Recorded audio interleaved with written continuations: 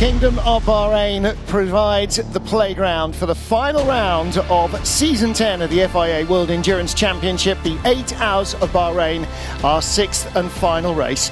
241 days since we started in Sebring, season 10, the longest season in the single calendar year, finally comes to its conclusion this Saturday afternoon here in Bahrain. Cars lining the grid in the sunshine, and it will be a long, hot day until the night comes before the end of this race. FIA President Mohammed bin Sulayem on the grid with the President of the ACO. FIA President Mohammed bin Sulayem 14-time Middle East Rally champion, flags the field away here in Bahrain. The sixth, the final race of season 10 of the FIA World Endurance Championship. The eight hours of Bahrain, sixth and final race, season 10 of the FIA World Endurance Championship is about to get underway. We have 37 cars on the grid in five classes the titles except the hypercar manufacturers are up for grabs. The lights go out now. Uh, finally, we go green. You cannot pass before the start-finish line, but it is five, six wide behind the leaders. Toyota, Peugeot, Toyota, Peugeot. Sebastian Buemi controls the first turn, and Paul di Resta has a big spin up behind him. And the Alpine, Gustavo Menezes, jumps the first of the Peugeots. I beg your pardon, it was the Alpine of Nico Lapierre, his former teammate Gustavo Menezes, who he got by. And in LMP2, United going the wrong, the long way around the outside, a real team by WRT onto the dirt. Can he get through that second Peugeot? Very slow here. Alpine uh, beg your pardon, uh, United now with the lead that was in a pass LMP2. off circuit though, so uh, I'm sure the stewards will notice that. And we also had side by side both of the Ferraris. The Alpine goes past that uh, Tota, uh, but uh, the 92 Porsche alongside both the Ferraris, that is still tussling through uh, as we get through two thirds of this circuit. And the reason the Alpine is getting past the hypercars here, particularly Toyota, is they can't deploy the hybrid at, in the slow speed corners, whereas the Alpine can deploy all its power. And so Toyota is a little bit down on power in the slower stuff. Spin up. Excessive heat as Lopez now does indeed Yeah. get Lapierre into turn one. The Toyota's super quick on the straights. But Lapierre's going to try and cross the line here. Now he's going to be on the attack towards turn four, but I'm not sure he's going to have that straight line speed advantage, but he's in the slipstream, he's hunting, but it's not enough. Right, let's get into the depths of our GTE Pro battle here from James Calado. Save the tires as much as possible. It will pay off uh, in a few laps. And we're going to hear exactly the same from the Porsches. We know we will because we hear it in every race. You're doing a great job, Kevin, saving fuel, saving tyres. And that looks like a move down the inside. He's going to be ruthless, of Yeah. course, because 91 has got to give it everything. So that's the kind of moves we're expecting. Oh, this is something. How long are we into the race? Well, Jimmy Bruni there. 13, 13 and a half minutes. Jimmy Bruni on Antonio Fuoco. Now, we talked before you were back in the booth, when you were still on the grid, that we are focused on 51 and 92. They are the key, they're the front runners in this championship. Because Jimmy Bruni got pole, he's now only two points behind the 92 Porsche, so that means three cars are definitely in it. However, the, may, the way the maths works out, Antonio Fuoco there in the 52 Sorry, car, Woco, of course. Yeah, not, they not- can also win the championship if the other three cars don't finish and they win it because they will because the only other car will be Corvette they'll be champions so all four of these cars can be champion Yeah, you hear the contact there. Jimmy Bruni comes calling Antonio Fuoco fights it as long as he can And got up inside. Yeah. oh down the inside of Jimmy Bruni and through he goes for second place back to where he was now then He's going to be under attack, though. A, a, a repass potentially coming from Bruni into turn one, but I think he's just about got enough distance. I think the Porsche is a little bit faster in the straight line and can't overtake off the track. Estre goes right to First, the edge. first to fourth is He's now try and go around the three outside. seconds He's going around the outside. He's got to keep it on track if he goes for it. They- Estre's making it tough for him. Isn't He's back- he's had to back out of that one. Great stuff, this. But this is why it's called pro, because of driving like that, because they know they can't afford damage, but they can't afford to let the car go either. He's going to lunge down the inside of turn eight. He's going to oh, get Got it in done, but there. Estre's gone so wide. He's going to cross over the line on the exit and be back there and challenge him down towards turn nine. It's But going to over be the close, brow, the but Ferrari has just the got it. inside line down the hill to the hairpin. He's got it. Great stuff. Great oh. switchback down the hill from Got it. Fuoco. Up, oh, up the inside again. That was that was a good move there by Estre. Didn't quite make it stick. He saw Fuoco going a little bit too deep, but that Ferrari is starting to come on strong now. A lot of traffic and they will have the undercut with the better tires. Will be close. I copy. is going to go for the undercut. He's, his engineers know what the number seven car is going to do. So are they going to do a half change? No, no tyre change. There's no tyres ready to go. So left side's only for the seven, or is it an all four stop? Let's see how they ballet round. Left's only. Now, that's the undercut that Buemi is worried about, that Lopez will come out with fresher tyres on the hard worked side of the car. Exactly. Let's see where he comes out on traffic, though. So look, here we go.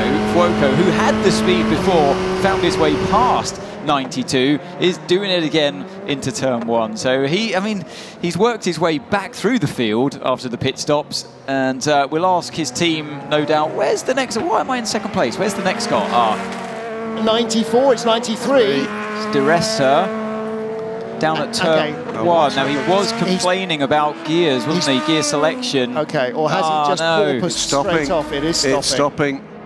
Drinking car out the way. No, Oh, Just it- stop. Yeah. It's Yeah. switched itself off, hasn't it? Is it a hybrid issue? Perhaps it it just looked like it wasn't slowing down. Maybe it's just gears. He couldn't finally couldn't get down the gears and Yeah. I should copy. here we go. Let's listen to this.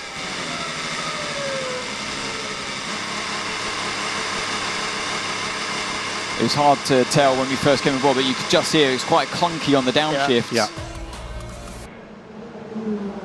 Stop at a safe place and do another power cycle. Stop at a safe place and go P1 5 seconds, then P0, and then go again. Stay in the middle of the track now. Take your time to do each step. Well, a- a- again, it sounds very similar to what Sebastian Buemi was being asked to do when his car stopped at Spa. Yeah. The 92 and 52 as he goes to the inside. Is he going to try and follow the Toyota through? He is. Molina tries to muscle in out of the way, but it's so close. Oh, he's off. Once again, oh, is he going to have to give that position back or is he going to lose it anyway? I anyway? think there might have been contact. Yeah. Oh, Once he- again, this fight can't afford to on. have a puncture. Has to let the uh, Inter Europol car, and is that the race leader? No, it's car seven. Seven car. Yes, in the middle of both of the. I mean, it's Yeah. with Rene Rast on Phil Hanson. He went one way, sold him a dummy beautifully, and gets the job done into turn one. It looks to me like he's just got more grip. It might be, Martin, like you said before, a case of fresher tyres, or he's just got the speed at this stage in the race. Or there's a pool of oil on the floor, or there's some bits of swarf in the sump. But electronics tend to be invisible. Here's the Corvette, Passing the 92. back up past the 92. Wow. Sold him a dummy going into turn eight. He went for the outside. Porsche had the inside covered, but left enough space. Don't worry, he has three tyres. Okay. I know. Okay, so that from that we know that Christensen is double stinting his tyres and going, yeah, that's why he got by you. You're not slow. Loïc Duval back in the garage. Now, this again has a little bit of the look of Monza about it. Jota and fight here. United It's Phil Hanson and Antonio Felix da Costa. could be. And you've also got the number eight uh, Toyota in the mix there behind, looking to make his him. way by. Yeah, he's uh, on the fresher tyres there. Is uh, Phil Hanson finds his way past Felix da Costa. This is critical for the LMP2 Pro-Am. Where is the AF Corsa car? Right, what's happened here then? Oh, has it happened with the car 31? Oh, that's a WRT car for Rene oh, Rast. Yeah, and James Allen just caught, got caught up in it. No contact for the Algarve Pro car. Luis. Oh, and look, Robin Frijns's looking on. Yeah. He knows, he knows. That expression says it all. I fear for them. Lorenzo Colombo was coming fresh out of the pits, fresh into that car, by the way, the Prema car. Uh, Will Owen, what it doesn't have is Oh, that's reliability not a yet. good sign, is it? So No, the last time no, Paul no. Resta was in the car, it broke, and Yeah. uh, he gets back into the car, only to be told, "Sorry, still- it's still broken. I You've got to get back out." I think that's done. Remember the year with the wide mouth frog Audi that changed. they They've weren't changed. allowed They've to. While we've been while we've been nattering, the two the leaders have swapped positions. You two can, Ferraris. you can clearly see because Yeah. one's got red mirrors. That one's got a lovely yellow stripe at the front of it. Just before corner one, you let him by. Okay. Look, and, and no question, no, oh no, why no, no, no, and I'm sure before the bits that we were played, I'm sure there was none of that. Very fierce contender for drive of the What day are in you feeling LMP2 so far, I think. Yeah, I mean, I, I think? Robin Frijns was great as well. He had such speed and uh, zero touching mistakes. Yeah, he, he's. Like Antonio, brilliant. he is just, yeah, he is so good so He often. revs full in fourth gear. Okay, um, I, Oh, this does not look good. faces in the 51 garage. our reigning champions, James Calado, Alessandro Pue- Pierguidi, they are doing enough at the moment. Gearbox oil. Gearbox oil. 131. 131. Warning. Let me know. Gearbox oil hasn't risen, so maybe there is no oil. The car that leads there, is the 52 Ferrari, so Calado gets a free place anyway. The main problem it seems to be he's struggling to slow the car down. He's getting off the racing line. He's getting off the track. There goes the Yeah. Corvette by. Yeah. He's trying to get. Uh, what he's trying to do is keep it in the same gear. Yeah. He's stuck in gear, isn't he? He daren't go down below fifth. So he's lost second place down to Nick Tandy. The gap now to Jimmy Bruni is So 15 listen, listen, seconds. listen. 64 leads the race. 64 leads the race. Uh, it- so to complete the point, 51 has to finish the race, Oh. and 91 has to be second. right. Hey Marco, you're doing a good job, so we need to keep driving like we're racing. We are still in the race. So manage your tyres accordingly, but we are still in the race. 'Cause here's the thing: what we don't yet know is he's now 37 seconds back from the 51. So that is the Pass 52. coming up here. 50 Into turn eight. 52 on the 91. That is the pass for position. Yeah, gets it done. Thought that uh, 91 was going to turn in there for one moment, but uh, And that's was a good the move. That's the critical position. Yep. The, the second would win the 91 the championship. Third won't Ooh, if the 51 keeps going. which is fine. Absolutely. Which is fine. 37 and a half minutes remain. 46 take the lead. Out lap for Mikkel Pedersen. There was a driver change there as well, wasn't there, in that Porsche? And there is the driver change at Iron Dames. He, he's been to Le Mans, you've been to Le Mans, I've been to Le Mans, we've all been to Le Mans. We all know, we all know. Look, he's, he's absolutely uncontrollably emotional. Last lap of the season, last few hundred meters of the season. It is Toyota number seven that wins it. It is another Toyota Gazoo Racing 1-2 here in Bahrain.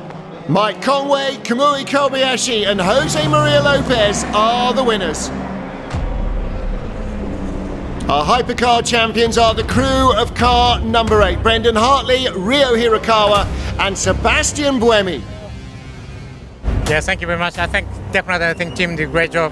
We made one two in the end, and obviously Kai win the championship, and of course we won the team title as well. So thanks for the all support and uh, from Japan as well. It's great award, and of course our partner or the sponsor helped us the through season, and of course I think all dri- driver did a great job. Thank you very much. And the Alpine crew join the two Toyota driver lineups on the overall hypercar podium. Last year, the drama in GTE Pro was all on the last lap. This year, it was 90 minutes of breathtaking tension for our champions, Alessandro Pierguidi and James Calado. When I jumped in and then I heard a funny noise in fourth gear, I was like, shit, sorry. Uh, I was like, this is really bad.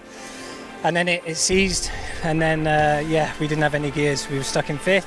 I thought it was over. That's why you saw the emotion. Um, but we, we never give up, and we're three times world champion.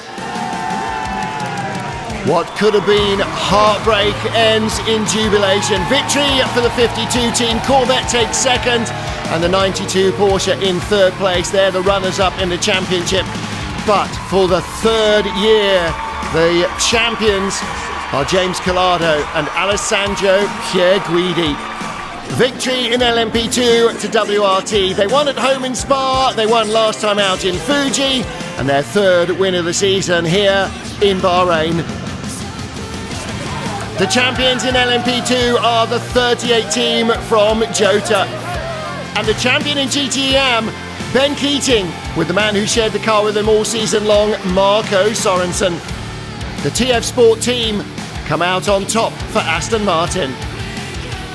After eight hours of frantic racing, it's a Toyota 1-2 in hypercar from Alpine. LMP2 victory went to WRT. AF Corsa's 52 car, the winners in GTE Pro. And Project One, 1-2 ahead of the Iron Dames in GTE AM. And that brings season 10 of the FIA World Endurance Championship to a glorious close.